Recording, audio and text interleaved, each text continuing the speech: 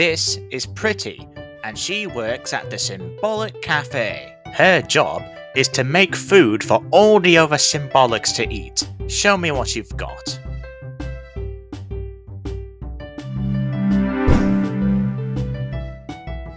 When Preti gives the Symbolics their food, they give her Symblets in return. They're basically these little letters that I use to create things.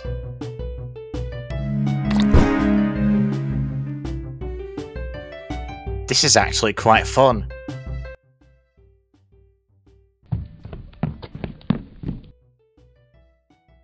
I'm glad she had a happy ending. What's that noise? This place sucks! How's this supposed to fill me up?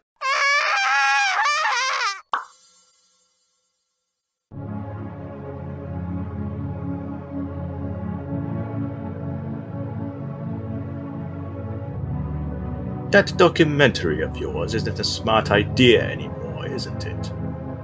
No.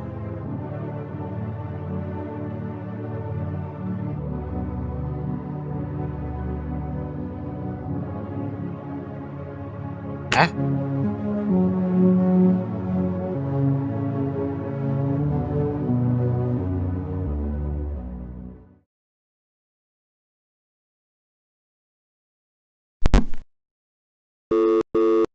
Hey Spine, what's up? You were right, Tace. This whole documentary was a mistake. It just doesn't feel the same without Yellow Aquarium, and I cannot get the Symbolics to cooperate at all. I told you we should have gone with my idea.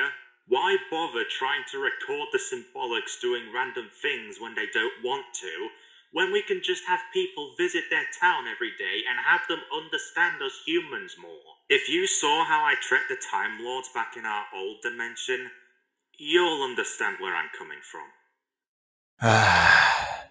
Can't say I blame you for that. Look, Declan and Ellie don't want the show to continue. The Symbolics don't want the show to continue. Even I don't want the show to continue. Not even our own kids want the show to continue. It's been a really horrible time for us all. Maybe you're right. Maybe this documentary is a stupid idea.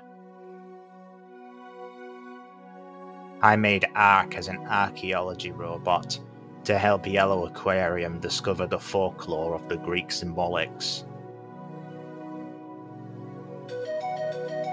As for the symbolics of modern day, they had so much potential to be children's stars. Your wife and her friend should have never insisted on having Ark as the narrator instead of having me make a new robot for that job because three years of Ark believing the symbolics through those Greek depictions would spell disaster. All the torture, shattered feelings, and psychological trauma and abuse that Ark inflicted live on TV to make the symbolics act like the Greek ones through 13 episodes, and the company somehow didn't notice until the tail end where the situation escalated until the symbolics' hometown got destroyed by their own creators, thanks to Ark. It is because of the cut corners caused by the Yellow Aquarium Company that led to it filing for bankruptcy and all its assets being sold to us. If we let people visit Alphaville every day, the symbolics will understand that not all humans just stand there, pointing a camera at them and talking over their daily lives. They're not objects, Spine. They're people just like us. Even if they aren't human beings, they are still the closest things to one.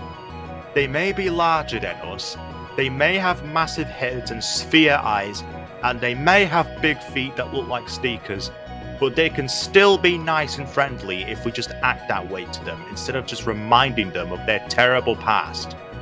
We can make the symbolics happy if we do what's right to them. If we want our living children's characters to be happy, we got to treat them with the respect they deserve.